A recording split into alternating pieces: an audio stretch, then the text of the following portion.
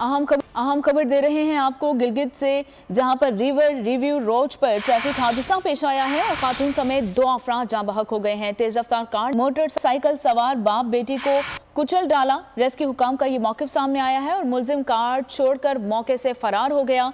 Car सवार से शराब की बोतलें भी बरामद हुई हैं और पुलिस ने वाक़े का मुकदमा दर्ज कर लिया है और इसके साथ साथ मुलजिम की तलाश जारी है। हादसे का शिकार बाप बेटी का ताल्लुक सौंक कोट गिलगित से है। तो आपको बताते चलें कि गिलगित रिवर व्यू रोड पर ट्रैफ़िक हादसा पेश आया है। ये मनाजिर भी आप बोल न्यूज़ की स्क्रीन पर मुलाहजा कर सकते हैं कि गाड़ी की क्या हालत हो गई है, जिसमें खातून समेत दो अफराद जहाँ बहक हो गए हैं।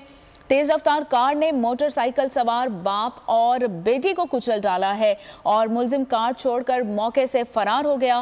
कार सवार से शराब की बोतलें भी बरामद हुई हैं। पुलिस का ये मौके सामने आया है और पुलिस ने वाक़े का मुकदमा भी दर्ज कर लिया है, जबकि पुलिस की जबकि मुलजिम की तलाश जारी है। सब्सक्राइब करें और बेल दबाएँ ताकि कोई खबर रह न जाए।